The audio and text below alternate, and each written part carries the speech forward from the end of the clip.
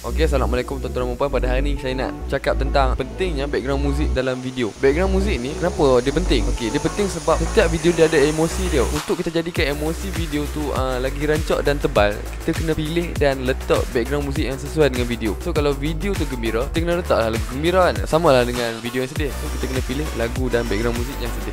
Okey, jom kita tengok video ni